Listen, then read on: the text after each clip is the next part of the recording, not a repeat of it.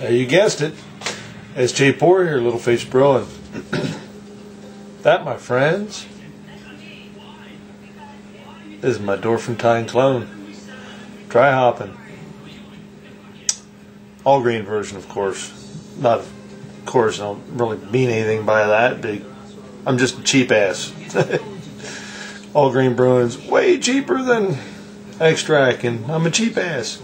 So, it's an all grain version. And I hope it, it lives up to the Great Dorfantine Ale. I mean, I, I really am hoping. Wow, it smells fantastic. That much I will tell you. It smells really good. Um, let me show you something else here.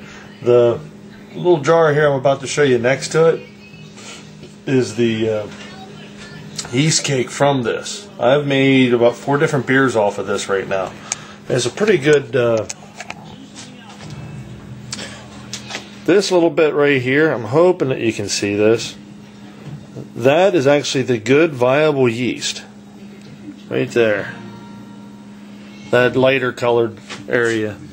This down here is is the settling out proteins and dead yeast and it's all the heavy stuff. So what's going to happen is I'm going to let this sit here for like an hour or so, whatever. And this will settle the whole way down, and I'll have this layer right here of of this good viable yeast. And that's what I'll use over. I'll pour that off, and that's what I'll use over again for another beer. So that's how I, that's how I go about doing it. I do. I'm pretty sure I have some videos on yeast washing. You can check them out on my on my channel there. I'm sure there's stuff on there. Um, this Dorfantine really smelled fantastic. It really smelled strong as far as like uh, malty strong. So I'm hoping it's going to be okay. It looks good. Color is I'm pretty much dead on from from what you know. Uh, Dorf and I, Dorf 68, in case you didn't know.